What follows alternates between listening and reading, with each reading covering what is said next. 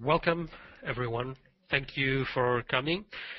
We'll be talking today about the FX market structure.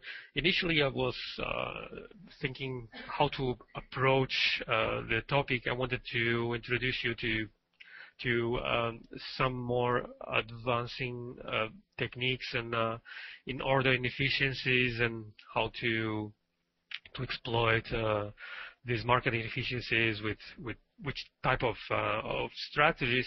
But then I I realized that um, perhaps uh, it would be convenient to to make a previous session on uh, the more uh, basic stuff, basic but not so evident uh, around uh, the FX market structure and how the the, the different layers of players are are organized, and um, as you can see here in the in the image, um, what what what type of orders are are used in the market, and uh, and specifically how how these orders uh, contribute to price change, and then um, talking also um, a little bit on on uh, about liquidity.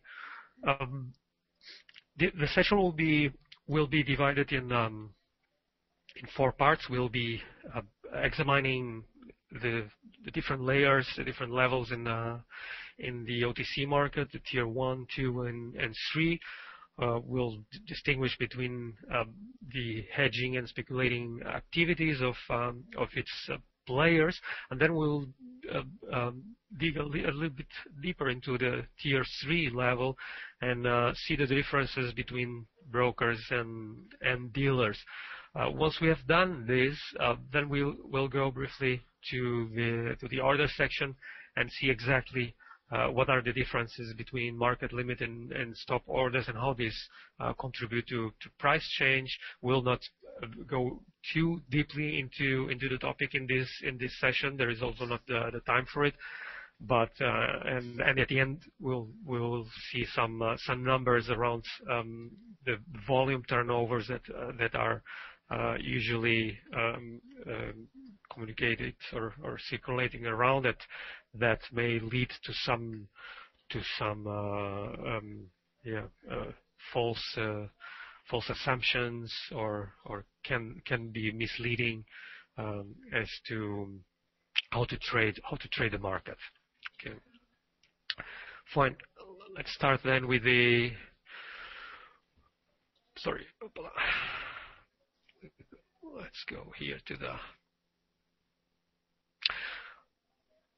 Let's start with tier tier one. But first, first uh, let me introduce you briefly briefly the the FX market uh, structure. Um, the foreign exchange over the counter uh, is, uh, is uh, trades over the counter mean, means that uh, there is no central exchange where traders come come together. This means also that traders transact anywhere they can find a, a willing uh, counterparty. And this can can lead to some confusion when, when trying to understand the, the structure of, uh, of the market. Um, this doesn't mean there are no exchanges. Uh, it uh, just happens that so-called exchanges think, uh, can take the form of a bank, a bank branch, and an interbank platform like like EBS, uh, retail broker dealers, on um, and even currency converters at, at the airport. These points of exchange are different from a traditional one like the, the New York Stock Exchange or the, the Frankfurter Börse, where transactions that occur on the on the exchange are routed through an independent uh, third party for, for settlement. In this case, when when when banks use EBS, for example, to, to transact among among each other, there is no no clearing authority. Okay? Banks have have agreements with each other so that both parties are are confident that that transactions executed over over the, the network or the EBS, for example, will be will be settled as agreed. So let's start with the with the tier the tier one Uh, this is the top tier of the of the of the forex market. Contrary to what we may imagine, this is not a like I said a centralized exchange, but a, a rather uh, was rather a network of, uh, of trading agreements between the world's largest uh, money center banks. Uh, networks like the mentioned EBS and Reuters uh, enable banks to see how much and at what prices securities are being offered by, by other banks connected in the in the in the network. There are hundreds of banks participating in uh, in, the, in the forex the forex uh, uh, network, so to say. Um, uh, whether big or, or small scale, uh, banks participate in the currency markets not only to offset their own foreign exchange risks and that of, uh, of their clients, but also to increase wealth of the, of the stockholders. each bank, although uh, differently organized has a dealing desk uh, responsible for order execution, market making, and and risk management. And the the role of the of the, the dealing desk um, um, can be also to make profits through uh, trading currency directly through through hedging, arbitrage, or or a different array of uh, of strategy. Um, what probably distinguishes them from the non-banking participants is their unique access to the buying and selling interests of the clients. And this, we could say, insider information, you know, in the legal sense, um, can provide them with with insight to the likely buying and selling pressure on the on the exchange rates at any any given time. But while this is uh, an advantage, uh, it is only of uh, relative value. No, no single bank is is bigger than the than the market as a whole. Uh, not even the major global brand bank names are, can claim to be to be able to dominate the the market. In fact, uh, like, like all other players, banks are also vulnerable to to market moves, and they are also subject to to market volatility. So the banks have have established agreements uh, between themselves, uh, debtor creditor agreements, which make the, buying and selling of of currencies possible.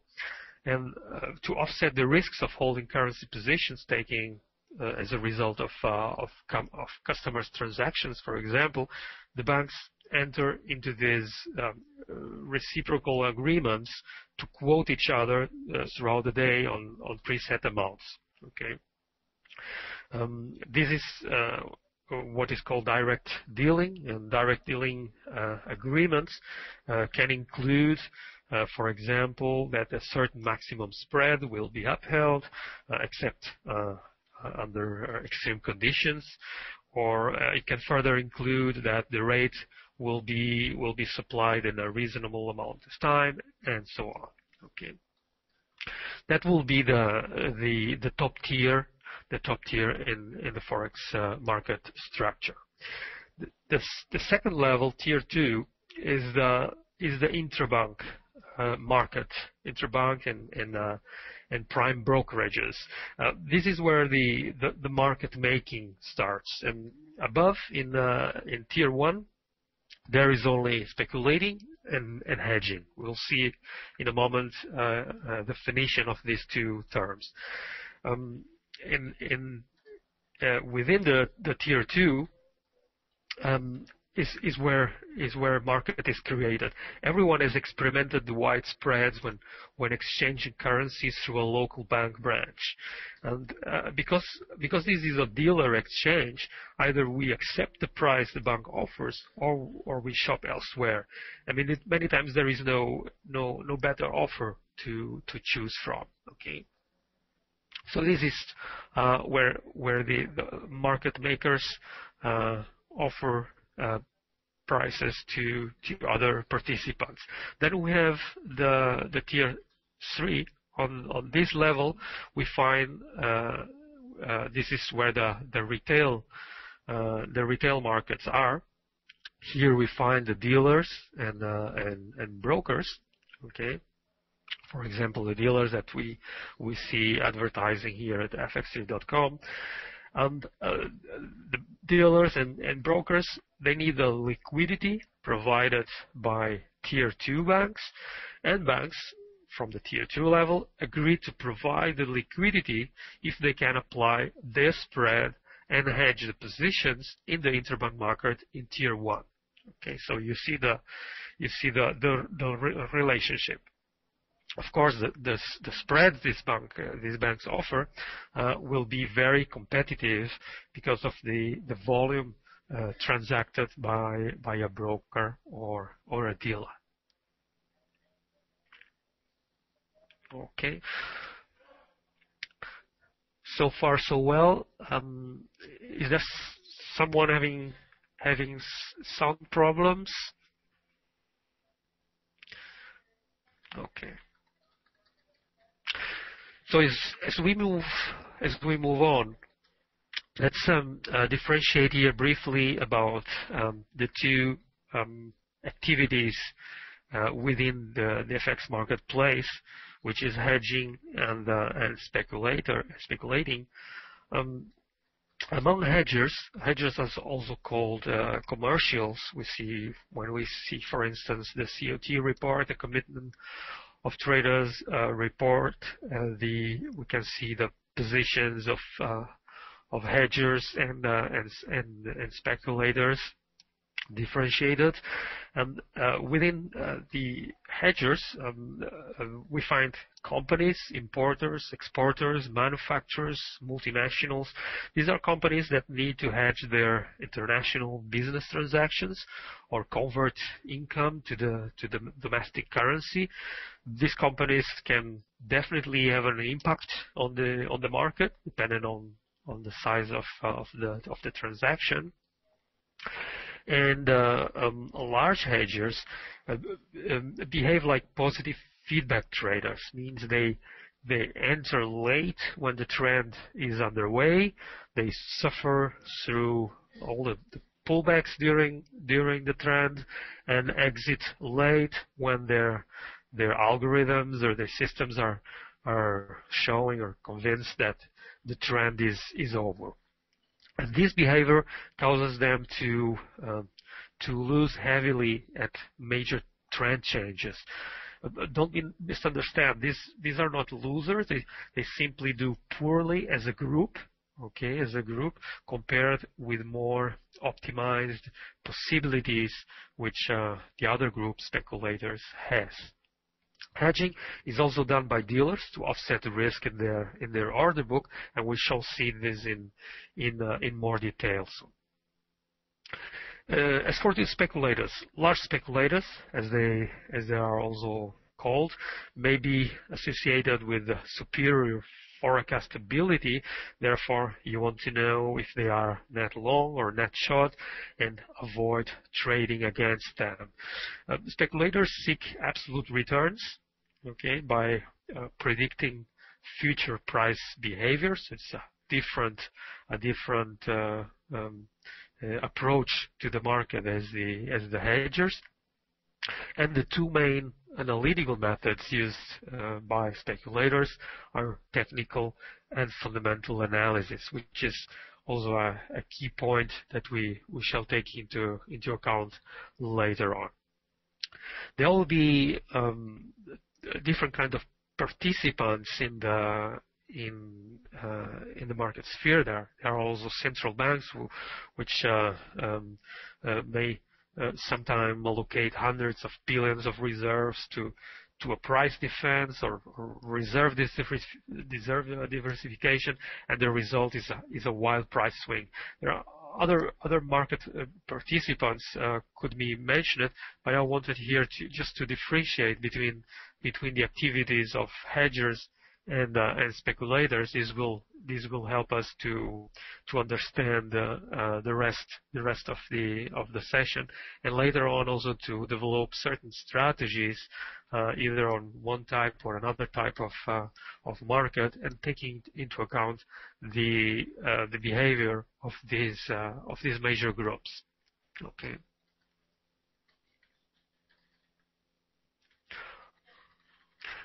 So we move on and uh, here we we we go inside the the level the level three, the tier three, and we will examine uh, more in detail the differences between dealers and and brokers. Dealers dealers are also called uh, market makers.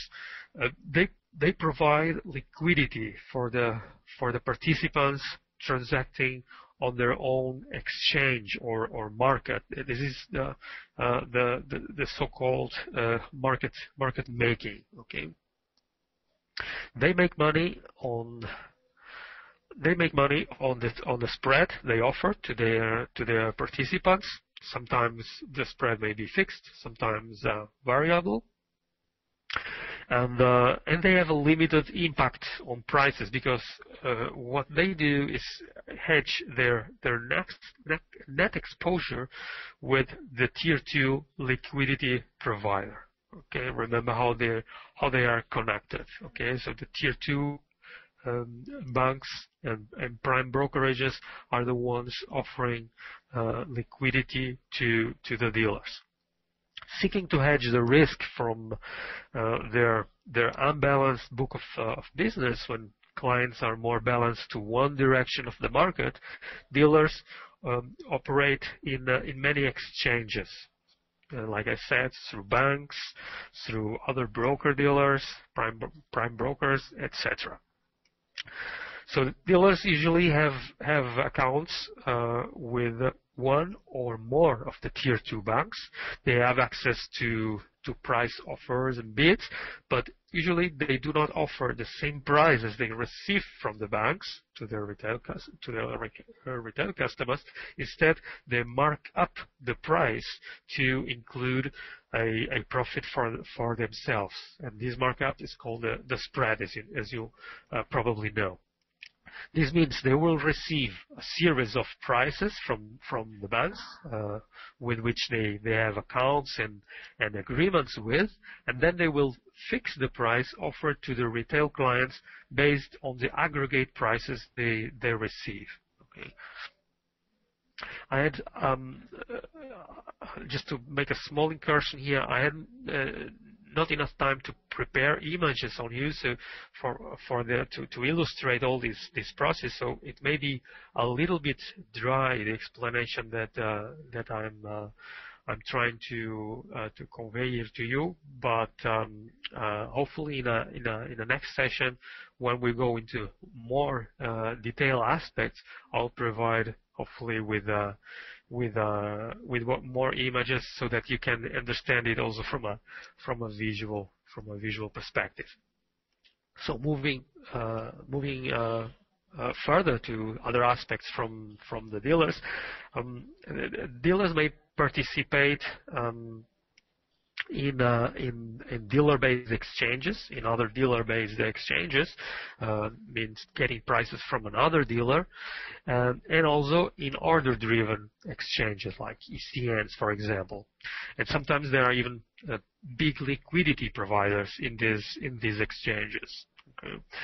In order-driven exchanges, dealers have to compete with other participants to, off, to offer the best price. And this contributes for the, the similarity of, of, prices across all the, all the FX network.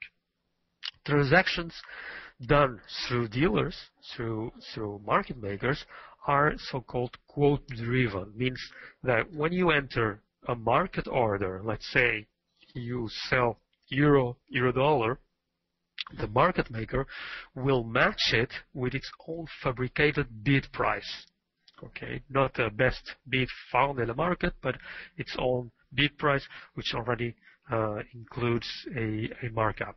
Okay, so when creating market, dealers will assess the order flow coming in and determine if there are more customers interested, let's say, in buying a certain security than selling it. In this case, the dealer will then adjust the offer price to change a little more a little more to all the buyers, to charge a little more to all the to all the buyers. So besides making a profit with a spread, dealers may, may go even further by shading the price, which is, uh, shading the price means uh, it's, the, it's the practice of adjusting their prices to gain an advantage over their of the of the day customers or simply to, to discourage them to go in a certain direction and destabilize the, the order flow balance. Okay. Moreover, because this order flow is coming from retail uh, customers mainly, uh, and they tend to be wrong most of the time, the dealer has an, another advantage to make a profit by shading the price. If the majority of clients are buyers at a certain at a certain moment, and the dealer increases costs for buyers to get in the market, he, he also increases the chance of making a gain. So um, he's, he's trying to to hedging or to protecting the, the unbalanced order book, but um, at the same time, uh, because the majority of, uh, of players uh, lose, automatically the dealer is also increasing the, the like, likelihood of, making a, profit. And contrary to, to what many people believe, trading with a dealer has some advantage, advantages too. Okay, there are no commissions, you may use small trade sizes. Uh, you are allowed to uh, to use a high leverage, and, and, many times you you have extra services provided which compensate uh, the the fact that you are trading uh, with a with a market maker. Okay, and uh, as we shall see in uh, later on, there are some strategies which or some inefficiencies that are better to uh, to exploit using uh, using quote-driven exchanges or uh, uh, dealers in this case, while others other other strategies or inefficiencies uh, um, can be uh, exploited through brokers and, and, and ECNs. Okay. Moving to to the other component of, uh, of the tier 3 level, which are the, the brokers. Uh, this exchange model allows uh, clients or participants to trade directly with each other. Okay, it allows also to trade between the spread and, thereby reduce the, the reduce the trading costs. Clients pay thereby commissions to transact on order-driven uh, exchanges. So um, a, a, broker uh, where order uh, order which is where transactions are order-driven means the the matching of transactions occurs against the best bid and offer available. So when you enter a market order, let's say the same uh, USD sell order, the broker will match it with another participant's limit buy order. Okay? Not with its own fabricated fabricated price, but with another participant's limit buy order. Okay. The downside of, uh, of this model is that liquidity is finite and slippage may occur if there are not enough participants wanting to trade at a, at a certain price. Okay. Contrary to what many people believe, an, uh, an ECN, electronic communication network, still exists on tier 3 level. Okay? Even uh, if it operates similar to tier 2, okay, uh, it still exists on uh, on the on the tier on the tier 3 level. This is the level where where the uh, retail players have access to, to the market. Okay? So an ECN broker will establish agreements with several tier 2 banks for liquidity and instead of matching the orders internally like a, like a dealer, like a market maker, it will pass the orders through what, what is known as a straight through processing system. Okay. So the, the the spread that tier two banks apply is still there. It's still in the price. Otherwise, they they would not provide the the, the liquidity. And since tier two banks are market makers, dealers, the spread may be also widened uh, as uh, as as we have mentioned it uh, through price shading. So um, uh, by there's sometimes we we uh, um, we may think that trading through an, uh, an ECN will be directly dealing uh, in the in the interbank, and this that is not exactly like that. So we are still uh, uh, still uh, experiencing the spread from the from the tier two banks, okay, and also their practices of uh, of price shading, for example.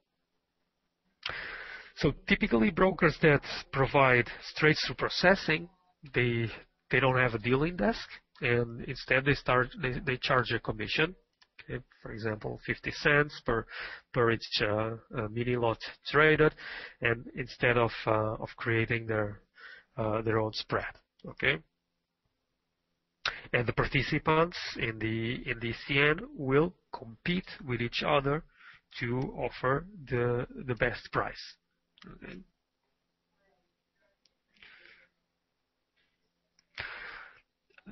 There is someone uh, Brian asking, um,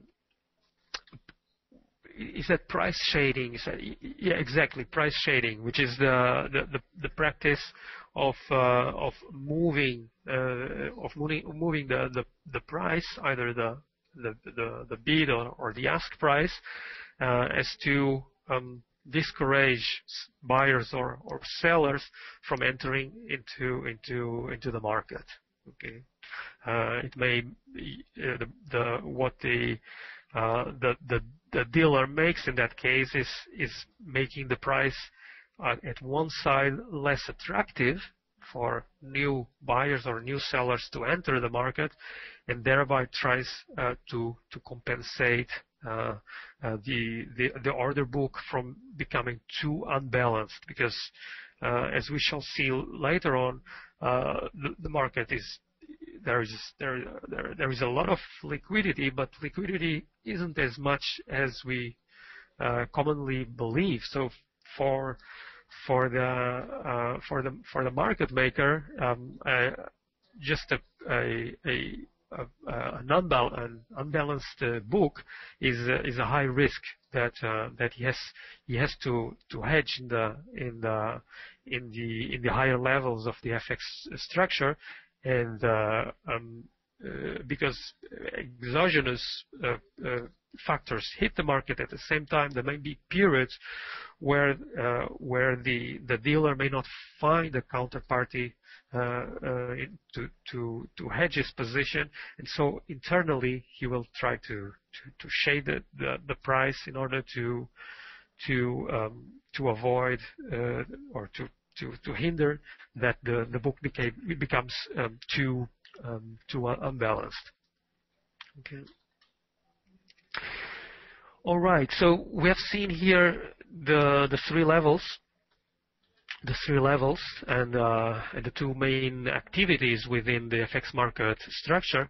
And now let's go let's go to the to the orders where we'll we'll see some differences between between uh, market orders, uh, limit orders and, and stop orders. This may sound uh, very simple to, to most of you, but um, still it's it's important uh, later on to, to understand how how prices effectively move, what kind of orders uh, uh, bring the, price to, move, and how and how orders are are matched against each other. And um, here I wanted to to go a little bit in uh, in detail just to differentiate these these three types of orders. So let's start with market orders. With with a with a market order, the the issuer agrees to trade at the best price available at the moment the order is placed. Okay, so the the market order demands immediacy of, uh, of execution. I want to buy a certain a certain amount uh, of uh, certain uh, security, and I want to do it now. Okay, and since since a market order demands uh, immediacy of execution, this type of order consumes the available liquidity in the form of other orders. Okay, so it's important to to see the market order as an order that consumes liquidity. Okay, so market orders are therefore a key element in the in price movement because it's only when available liquidity is consumed at a certain at a certain level that that price can move to another level. Okay. And the difference to or uh, the limit orders um, as uh, as uh, a different type of uh, of order is is an order to to buy or sell a security at a specific price or better. Okay, so uh, in this case, there is no, there is the, the immediacy of execution is is not uh, is not a, a criteria. Uh, in this case, it's the limit, it's the limit price which is which is important. Uh, in this case, with uh, with limit orders, and I used here the the, the abbreviation LMTs for, for limit orders. In uh, in in limit orders, execution is not guaranteed okay? Uh, but they guarantee that a trader does not pay more than a predetermined price for a security, okay? I want to sell at a certain price or better. So you are guaranteed that you will you will be able to sell a certain security, a certain pair, uh, at a at a at a certain price, and you will not pay more than that that limit price. Okay. On the other hand, they don't guarantee uh, execution okay because the the price has to reach that limit means the price has to move to find to find the limit order if price doesn't move the limit order is not filled okay so now we start to understand one to understand uh, the differences between the market orders which observe uh, liquidity and the limit orders which offer liquidity Okay, and um, market prices are constructed upon limit orders. They they are the the the primary source of liquidity. A trader by by uh, placing a, limit order offers liquidity to the market by offering anyone willing to pay or asking anyone willing to offer a certain amount of securities or currency units at a, a specific price level or better. Okay, so it's it's by placing such an offer, such an, a limit order, that the player is is is offering liquidity to to the market. So these orders, limit orders, establish the current the current price for a for a security. A standing limit to buy establishes the bid, and a standing limit to sell establishes the ask. This means that bid-ask prices are made of limit orders. Okay? And in ECN, ECN broker, for example, will show the current market prices constructed upon limit orders. And um, in this, in, uh, besides of market and limit orders, we have also stop orders.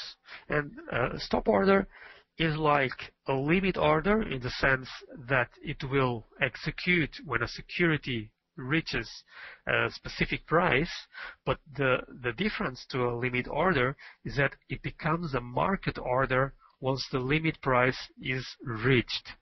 Okay, so th these are orders available for execution, so they, they also offer liquidity to the market, but um, when when converted to market orders upon execution, when when the when the price is is uh, is reached, they consume liquidity and also contribute to price change. Okay, and stop orders can be used to enter, can be used to exit the the market.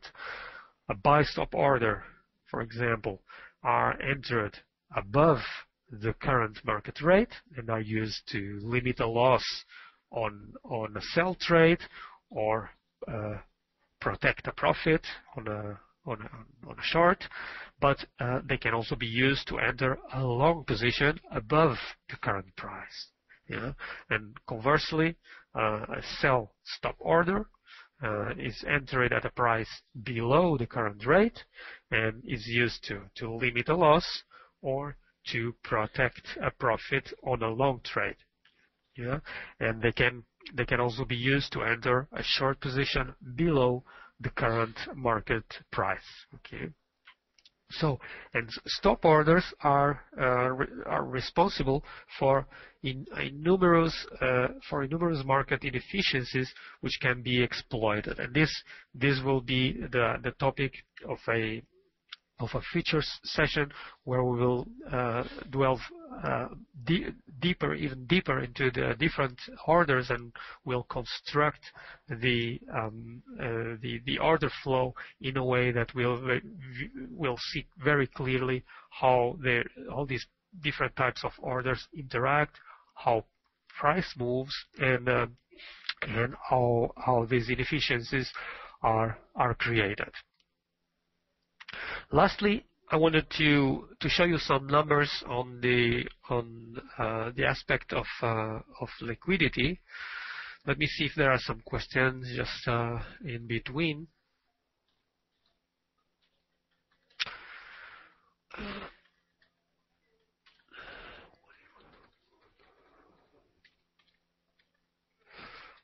Let me see. What if the market gaps your limit order? Do they execute uh, on based on your limit or will slip? If if there is if there is a gap and the limit uh, the limit order is not touched means uh, the the from the perspective of uh, of the order issuer, the gap is giving you now or uh, as a result of the of the gap, the price the price uh, being quoted now is worse than than the, price you wanted, then it is not executed. Only if you have a gap and the and the next uh, available available price is better than your limit order, then then it it would uh, the the uh, the order will be will be executed. So a limit order is to is to is to limit uh, to limit what you are as a as an issuer of that order, what you are uh, willing to pay for a certain for a certain security. it's a limit price at which you you want to trade. Okay. Usually, uh, a limit order is set if you want to to buy, for example, uh, it's usually set below the current market price. So you you you want to buy at that level below the current price or better because if if it is lower than that limit, it's some extra points that that that you gain. So if the market gaps uh, gaps lower below below your your limit limit buy, then it will be executed at an even better price. Okay. But if the if uh, uh, if the, gap is not favorable to your position and the price is worse, then it will be uh, it will be not not executed.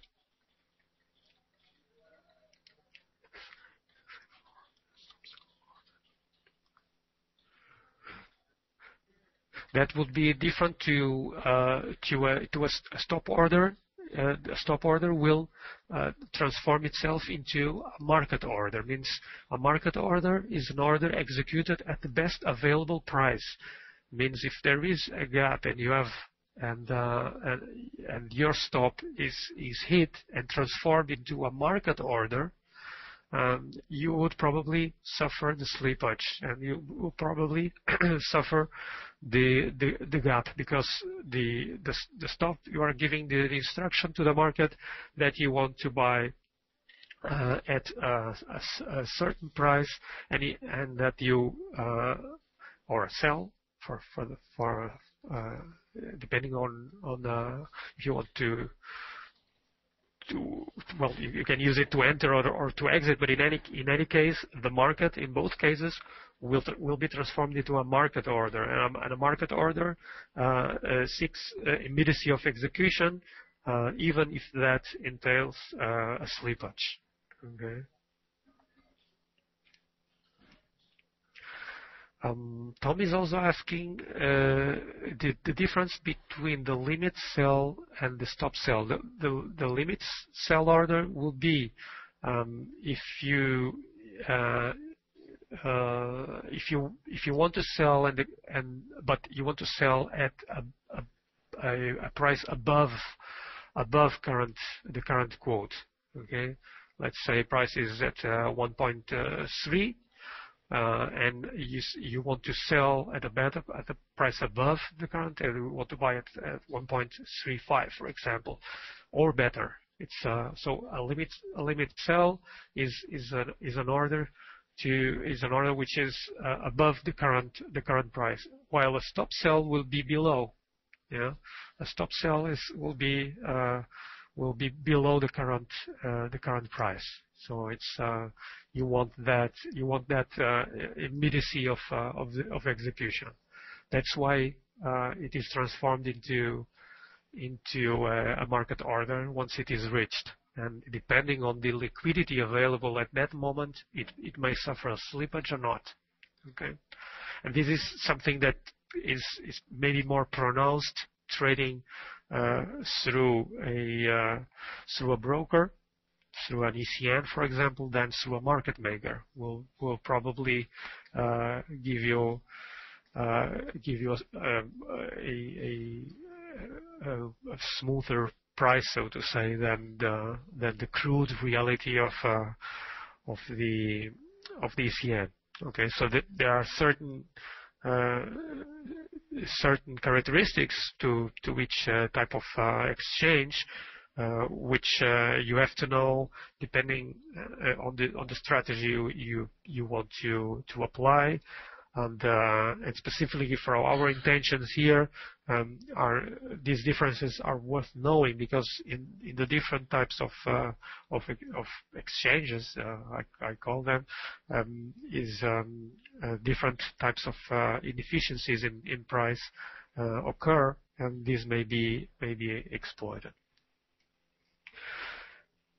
So uh, allow me briefly just to, to go over the, the last aspect here on uh, on, on liquidity before I cover uh, some some more some more questions. Um, because there are um, there are a little bit of um, misleading beliefs around the, the, the numbers that uh, that we we have uh, on the on the turnovers in the FX market numbers that, that are usually uh, collected by by the Bank of International Settlements as for the annual uh, and daily um, turnovers in the in FX marketplace. We see uh, the last the last report, if I'm not wrong, it's from 2010. Uh, I think. I'm not sure, not right now. But the last number we have is that the daily total turnover is of uh, 4 uh, trillion US dollar. So um, in the, the, the vast majority, in fact, of, of this mind-blogging number of, uh, of 4 trillion uh, per day, it in each uh, 24 hours, is in fact risk being laid off from from one tier to another. Okay, this is is um, risk that is being hedged against or with with other market participants um, in in the form of of um, of limit orders. Okay, and in the form of limit orders. And so uh, these these limit orders, and we'll see this in more detail in a, in a future session, uh, when summed up, they, they come up to this to this huge number. But uh, uh effectively, the, the, the, liquidity available is is much less than than that. So we can say that uh, spot transactions, the ones that really bring price to move, uh, have a daily turnover of approximately uh, 1. trillion US uh, US uh, dollar, and this is this is on on a 24-hour basis. Okay, this translates into into a flow of roughly a billion US dollar per minute, and if we go further and compute this figure per second, it collapses to 8 million buying and 8 8 million uh, selling volume, and this is for all pairs.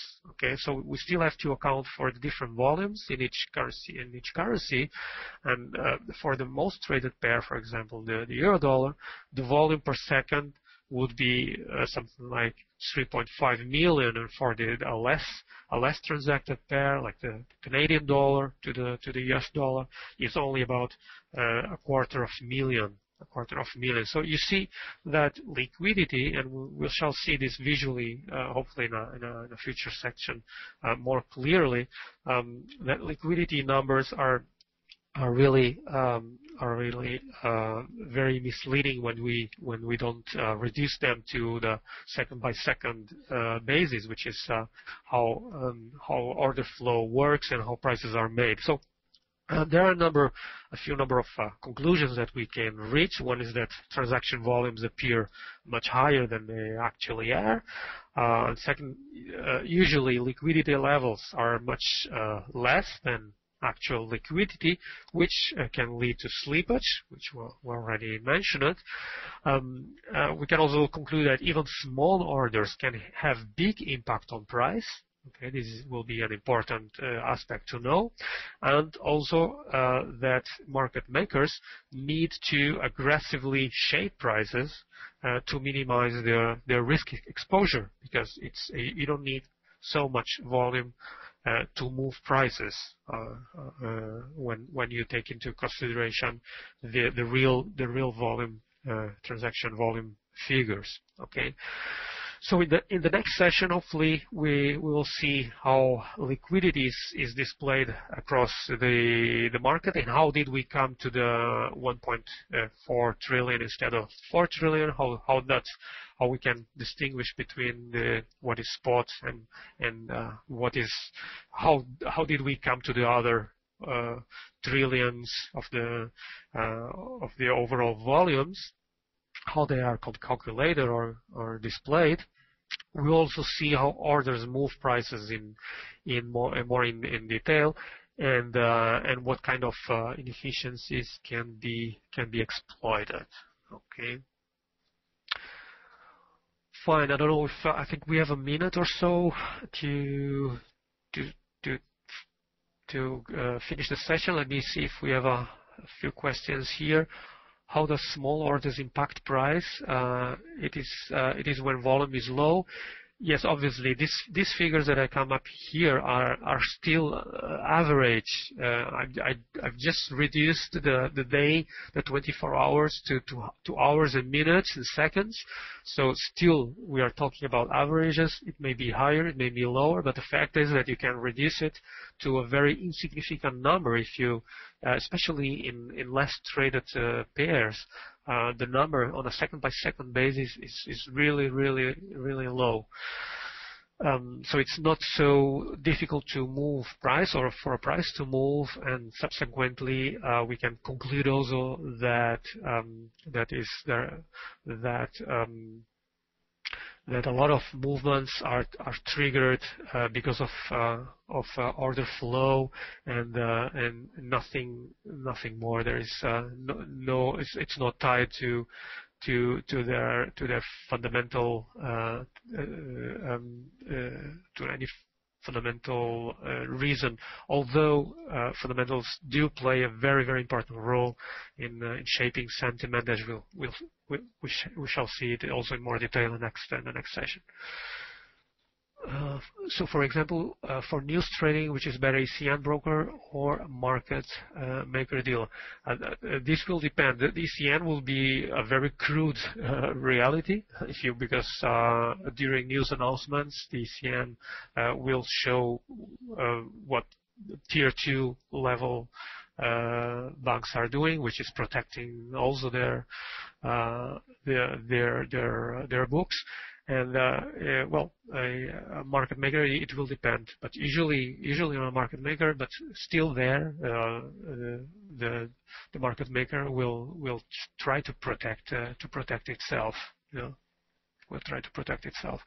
if there is no protection from the side of, of your market maker, um, then um, well, then he has other incentives to to make money or other other ways. He is making money through other other ways, and uh, it doesn't need to to protect itself.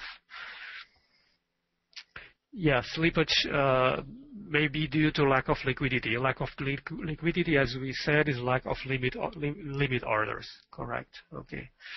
Mm-hmm. Okay, fine. Thank you very much for, for the participation. Thanks for everyone, the uh, 24 attendees for, for coming. Um, I, would encourage you, the, the ones that I've seen here that have no name or nickname displayed, probably you are not uh, registered on the site. Take a few minutes uh, and uh, to, to register to the site so that next session uh, the, the, presenter can see and communicate with you, at least with your with your username. Uh, we'll you will also have access to some parts of the website which you are required to, to register. Okay, thank you very much. Have a wonderful uh, rest of the day and, uh, and a good week. Good trading. Bye bye. Thank you.